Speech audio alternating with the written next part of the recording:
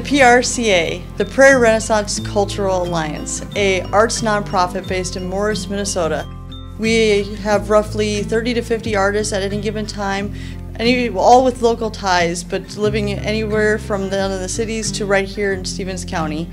We have art ranging from textiles to jewelry, 2D and 3D. We have a little bit for everybody. The mission of the PRCA is to create spaces and experiences for people in Stevens County to experience art. We do this through a number of ways by having events such as our art share classes where people learn different art mediums from artists. We have poetry readings. Or squeeze herself through the culvert we followed into the dark and scary woods.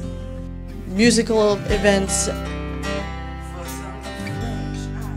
book signings, art camp in the summer for elementary age kids. And then we have our retail space where we feature locally connected artists.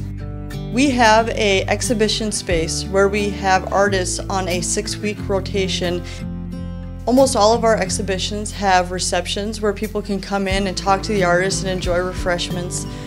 We are open Wednesday through Friday Uh, 11 to 5.30 and Saturday 9 to 3. We're a warm and cozy place where people can enjoy the art regardless of your age. It's not your usual art gallery.